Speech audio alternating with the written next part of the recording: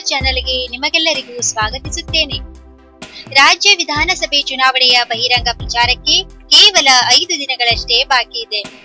ಕಣದಲ್ಲಿರುವ ಅಭ್ಯರ್ಥಿಗಳ ಎದೆಬಡಿತ ಹೆಚ್ಚಾಗುತ್ತಿದೆ.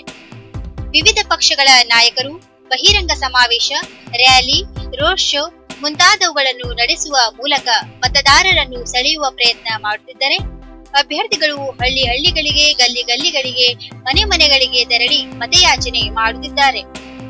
ಶಾಂತಿಯುತ ಜಿಲ್ಲೆ ಎಂದೇ ಹೆಸರಾದ ಉತ್ತರ ಕನ್ನಡ ಜಿಲ್ಲೆಯಲ್ಲಿ ಈವರೆಗೆ ಯಾವುದೇ ಅಹಿತಕರ ಘಟನೆಗಳು ನಡೆದಿಲ್ಲ.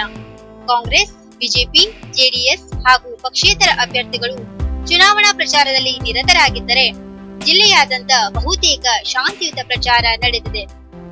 ಇನ್ನು ಮತ್ತಷ್ಟು ಕಾರ್ವಾ ಪ್ಲಸ್ ಸುದ್ದಿಯೊಂದಿಗೆ ಮತ್ತೆ ಭೇಟಿಯಾಗೋಣ. ಹಾಗೆಯೇ ಕಾರ್ವಾರ್ ಪ್ಲಸ್ ಚಾನೆಲ್ ಅನ್ನು ಸಬ್ಸ್ಕ್ರೈಬ್ ಮಾಡಲು ಮರೆಯದಿರಿ. ಧನ್ಯವಾದಗಳು.